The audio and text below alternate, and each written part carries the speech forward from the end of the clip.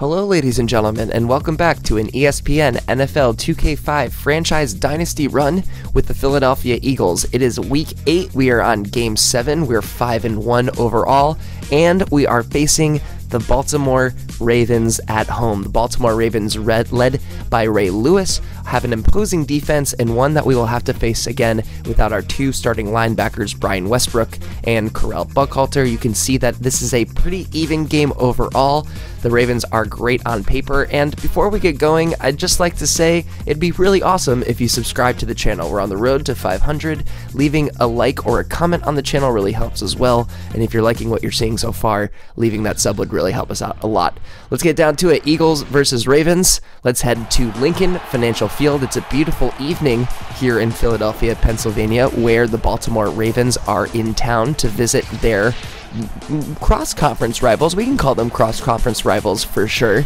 The Philadelphia Eagles. You see Ed Reed there, an anchor of many anchors on this Baltimore defense, and the Philadelphia faithful are here and ready to get going. First play of the game, the Ravens would win the toss, and Boller finds Todd Heap for 14 yards. Jamal Lewis getting his first carry of the game, losing one on the tackle from Jevon Kearse. Boller on second down, throwing up the middle, deflected away by Michael Lewis. Didn't really need to deflect it. It is third and 11. Boller rolling over to his right, tosses it over the middle, complete to Kevin Johnson, 25 yards on the play. First and 10 from Philadelphia's 40. Boller tosses a lob over the left side to Johnson again, complete for 21 yards. First and 10 now from the Philadelphia 19. Boller dropping back, tossing over to his right side, bouncing off the back of his offensive lineman. That one would be called an illegal touching of a forward pass. We would lose five yards on the play, continue on first down. First and 15, Boller throws over to the right side. Todd Heap again, two catches for him already, 14 yards on the play. Second and one, Lewis runs to the right side. Simon Owens is there eventually, and Shepard is there eventually to take him down. Three yard gain, first goal for the Ravens. From the eight, first and goal, Lewis runs up the middle, taken down by Dawkins. Five yard gain on the play. Second and goal, a draw again to Lewis, running over to the right side. Lewis grabs him. Lewis takes him down before the end zone.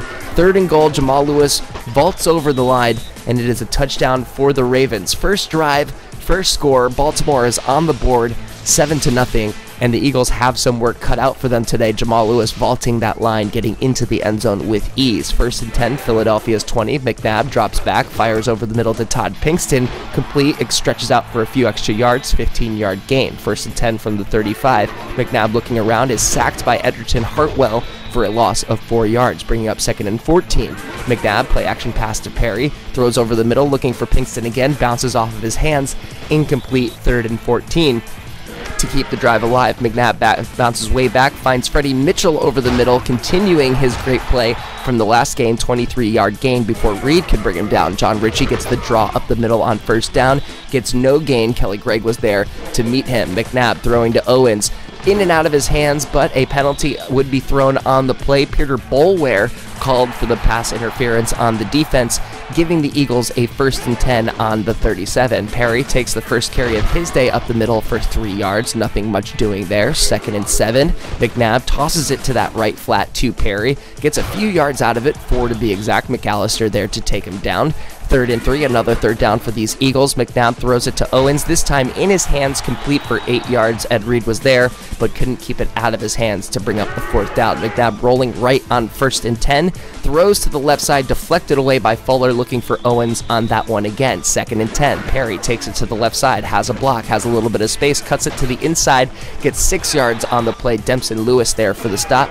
Third and four, Terry gets the toss, runs outside of the outstretched arms of the defense just over the line for the first down. First and 10 from the Baltimore 10. Freddie Mitchell has another reception right on the goal line, taken down by Reed just short of the end zone, and we will end the first quarter with the Ravens up seven to nothing. Perry gets the toss on that second and one and gets into the end zone for the touchdown, the second touchdown for the rookie out of Oregon, Bruce Perry. You can see here he has the daylight on the toss. Ray Lewis is there for the tackle, but it is not enough to keep him out of the end zone, and we have a tie ball game in Philadelphia. The Ravens taking back over.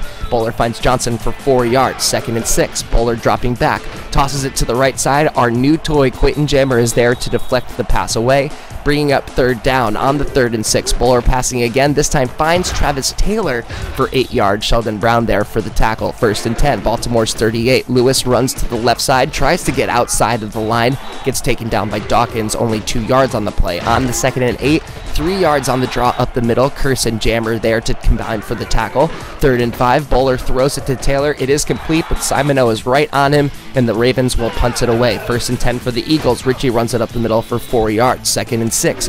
Perry runs to the left for a big loss of three yards. Suggs was the first Ravens defender on him. There were a couple there to stop him. Third and nine now. McNabb to who else but Terrell Owens. Big toss over the top, 23 yards on the play. Ed Reed there for the tackle. He's been just behind on a lot of these pass plays, and the Eagles continue to fly. Ritchie gets the pass on the flat, gets forward for about five yards. Peter Boulware drags him down, second and five. McNabb throws to the left side to Owens, in and out of his hands, drops it on contact. Another third down for these Eagles. And will the magic run out? It will right here. Edgerton Hartwell gets across for his second sack of the day. The Ravens get the ball right back. Jamal Lewis runs to the right side, six yards on the play before Jammer and Wayne tag team for the tackle. Second and four. Lewis gets another play on the draw. This time, Jevon Kearse is there to bring him down for another loss of one game. Third and five. Boller throws it, and another pass deflected away by Sheldon Brown. Another good defensive stand from the Philadelphia Eagles. Another three and out from the Ravens, and another sack from these Ravens. This time, Kelly Gregg gets through for a sack of six, seven yard loss on the play. But McNabb is right back, finding Owens for 17 yards and a first down. Baltimore territory on their 49. Owens throwing again, this time to no one, was looking over the middle for somebody. Second and 10. McNabb takes it to the right side on the rollout, rolls farther right, avoiding the play, throws it over the right side to Freddie Mitchell, who has it with a little bit of space. He would be shaken up on the play after the shoestring tackle from Ed Reed. It's a 32 yard gain. Freddie Mitchell would be okay overall. First and 10 from the Baltimore 17. McNabb throws it over to the right side to Todd Pinkston, who has it, has some space, and is tackled into the end zone, but disaster strikes. McNabb is down. He would be carted off the field, and we would confirm the worst after the game. McNabb has torn his ACL and would be out for the rest of the season. A disastrous blow for these Philadelphia Eagles, but one that they'll have to carry on from regardless. After that first run from Lewis there, he gets the ball again, draws to the right side, avoids a couple of Eagles defenders, and is taken down for a gain of 10 yards, giving the Ravens a first down. Alan Ricard this time getting the draw on the play, the fullback getting no gain on the play. Nate Wayne is there to take him down. Boller passing to the right side on second and 10. The pass is incomplete, but he gets a bailout from the referee. Defensive pass interference is the call on Quentin Jammer, giving the Ravens a first and 10 from their own 39. Boller dropping back to pass again and throws it into his own lineman yet again. Another illegal touching of a forward pass by an offensive lineman via an errant shovel pass from Kyle Boller, giving a first and 15 to the Ravens. On the first and 15, Quentin Jammer's volleyball spikes one of those passes away on the right flat. Another pass to the right flat from Boller. This time, another no gain from Johnson, tackled right at the line by Jammer and Brown. On the third and 15, Kyle Boller throws it over the top, and that one is knocked away again, incomplete. And that will bring us to halftime. At the end of two quarters, there have been three touchdowns and one terrible catastrophic injury. Going into halftime, it is Eagles 14, Ravens 7. Looking at the tail of the stats, McNabb was having a fantastic passing day before going down with said torn ACL, putting up 153 passing yards. Only 16 yards on the ground, but Perry has found himself into the end zone. The Ravens also doing a good job on offense, and again getting those three sacks to the Eagles, none. We'll see how Philadelphia will fare in the second half. Jeff Blake is the backup quarterback coming in for the injured Donovan McNabb, and he wastes no time. He finds the best target on the field, Terrell Owens, over the middle for 18 yards, hands it off to Perry for a gain of two on that one. And on the second and eight, Blake takes over again, dropping back, throwing to who else but Terrell Owens, complete this time for 19 yards. Demps in there on the tackle. The Eagles are in Ravens territory. This time, Perry has some room on the right side, makes someone miss with the juke, makes a second man miss, and is taken down by Boulware after a gain of 13 yards. Blake dropping back, throwing to Pinkston, has some room in front of him on the nifty move after the turn, and gets 12 yards on the play. First and 16, Ritchie runs backwards for a loss of three yards, giving a second and 13. Blake rolling out to his right side, looking down the field, throws it over to his right side, just out of the hands of Todd Pinkston. Incomplete, third and thir- 13. Blake drops back, throws it deflected over the middle by Kelly Gregg at the line, bringing up a 36 yard field goal by David Akers. The kick is up, the kick is good, and the Eagles extend their lead slightly, 17 to 7. The Ravens taking over from their own 24. Boller finds Kevin Johnson on the left side hook route for 7 yards. Shepard there to take him down quickly,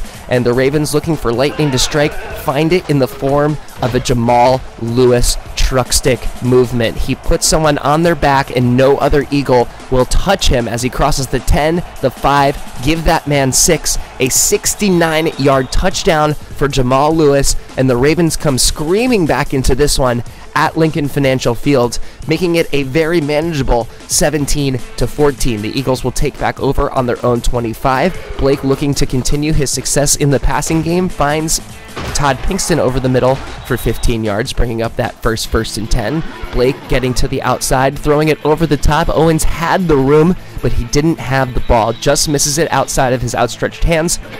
Brings up a second and 10. Blake finding Perry on the right flat only gets three yards out of that one. McAlister was on that one quickly.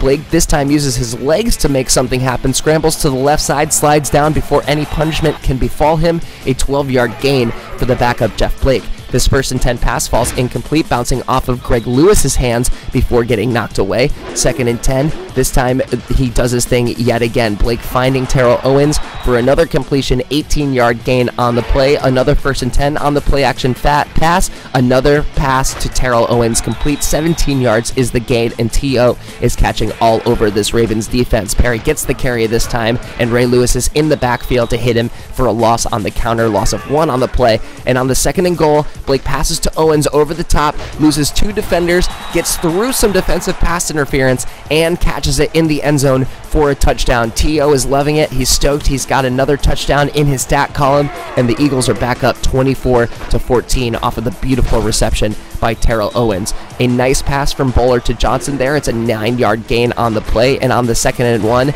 Johnson gets out to that left side again. He puts a nasty stiff arm on the on Brian Dawkins and gets knocked out of bounds by Quentin Jammer for a gain of 33 yards. So two runs by Jamal Lewis and almost 100 yards of work. You can see that dirty little stiff arm that he puts on Brian Dawkins right there, and he has a great gain, putting the Ravens right back into a good position. On the first and 10, Boller finds Todd Heap for 20 yards. He's been a favorite target of Boller's today, and another big play from this Ravens offense. But finally, the Philadelphia defense does something on the defensive line. The backup, Jerome McDougle, gets through, and that takes us into the fourth quarter. Eagles up 10 Starting off the fourth quarter, Boller wastes no time. He gets it complete to Travis Taylor for a gain of 19 yards right against the end zone. And on the first and goal, Nate Wayne takes the pass away in the end zone, intercepted by our outside linebacker, Nate Wayne. Give me the 360 dunk. Let's see that one again. Nate Wayne was lurking in the zone on the pass. He has cookies. He has the ball back for the Eagles, and they are headed back the other way, trying to put this one away here in Philadelphia. Brian Perry gets the first carry of the drive gets a three yard gain over to the right side. Reed Hartwell there for the stop. Blake finds Terrell Owens again, his favorite target, wide open over the middle. Almost uses that breakaway speed to get downfield. Demps drags him down for a gain of 20. First and 10. Ritchie gets the call, runs it up the middle, gets a good five yard gain out of that one. Second and five. Perry runs it to the right side, is met by Ray Lewis. You're not going to win that battle of the lowly rated rookie running back and Ray frickin' Lewis. And on the next play, Perry finds Owens complete on that hook route, keeping the drive alive. First and 10. Perry gets one yard on the toss to the right side. Second and nine. Blake rolls to his left side, finds Terrell Owens yet again, absolutely threads that needle in there for gain of 16 yards. And the Eagles continue to roll down the field and put some more proverbial space between them and these Ravens. Ritchie gets the next run up the middle for three yards. Terrell Suggs, who's been quiet today, gets that tackle. Perry gets the toss to the right side. The blocking is solid. He jukes around on someone, makes him miss, and gets across that first down line for a gain of eight yards. And on the very next play, Perry gets some more great blocking, has his speed out to the outside. Ray Lewis is pursuing, and he manages to win the foot race to get into the end zone for a gain of 18 yards. Another touchdown for the rookie Bruce Perry, and the Oregon Duck has the Eagles up 31 to 14. This is the Ravens' last chance to put some score on the board to maybe make this one interesting before the end of the game. Lewis finds an eight yard gain on that pass from Boller on the left flat, and then let's just watch Boller throw the ball away a bunch of times. Second and two, incomplete. Third and two, incomplete fourth and two to keep the game alive for the Ravens. He drops back on a quick drop. He throws it to the right flat. That one is bounced up by Travis Taylor, and he gets absolutely hammered by Nate Wayne, putting this one away. And just to put the nail in the proverbial coffin, Perry gets another 29 yard run into the end zone. You saw that beautiful block from LJ Smith there and the Eagles offense. And Brian Perry has put up a turkey of touchdowns here in this game against a staunch Baltimore run defense, and we may have a future in this young Oregon Ducks running back. Now, the Ravens would come down the field, they would drive down in garbage time, and Boller would find Travis Taylor here in the end zone, four yard touchdown pass to make it a 38 to 21 game, and that is how this one is going to close out. The Ravens do manage a touchdown in garbage time, but that final score here in Philadelphia are the Eagles 38 and the Ravens 21, and we continue to be in that win column despite the catastrophic loss of our quarterback Donovan McNabb for the rest of the season. We are feeling good and confident that we can ride Jeff Blake into that promised land of a Super Bowl. We have a great roster, and we'll be riding the talent up and down this roster for the rest of the season. We'll check out the stats before anything else. We had 307 yards passing, 105 yards on the ground. A lot of that were helped by those two longer touchdown runs by Bruce Perry and and those passing yards were, of course, done by committee. Taking a look at the individual stats, McNabb and Blake, very similar days. McNabb, before he went down with the ACL tear, 10 for 14, 153 yards, one touchdown. Of course, that touchdown pass was the one he was injured on. And Blake, 11 for 15, 154 yards, and one touchdown. Looking at our running backs, Bruce Perry had himself a day, 14 attempts for 82 yards, getting into the end zone not once, not twice, but three total times. A wonderful day for our rookie running back. And looking at our receivers, Terrell Owens was, of course, the favorite receiver for Jeff Blake, his little safety blanket as he got his feet wet underneath him out on the football field. 11 receptions, 172 yards, and one touchdown. Pinkston also had that one touchdown. And Quentin Jammer, our new cornerback that we acquired for a couple of third round picks, from the San Diego Chargers continues to be a highlight on our defense. He had seven total tackles and two passes defended. We did get through with a sack this time. Jevon Kearse played a lot better on that defensive line as well, getting a couple of big tackles for losses, keeping Jamal Lewis as corralled as he could. And we will move on next week to play the opponent of the Pittsburgh Steelers. We're headed to our cross state rivals for the Pittsburgh Steelers. You can also see we have a big NFC East slate coming up. And before we go, we do have to take a look at that injury report. You can see here, as we said, a torn ACL for Donovan McNabb. This is the subject of our dynasty since he does have that 10 year contract. It was actually 06 when he got injured and was out for a long time, so we're just dealing with it a year early. So we're going to take what we have with this Eagles offense and defense, and we're going to try and keep going. Thanks for coming out for this one, everybody. Please like, comment, and subscribe to the channel. Once again, we're on the road to 500 subscribers, so you like what you see here, just giving a little subscription, little check on that box really, really helps us out a lot. But a like and a comment also helps for that engagement as well. Really appreciate you all being here. We do live stream these games, so come through on a live stream sometime, and we will look forward to seeing you on the next one. Peanuts 24 7, signing out.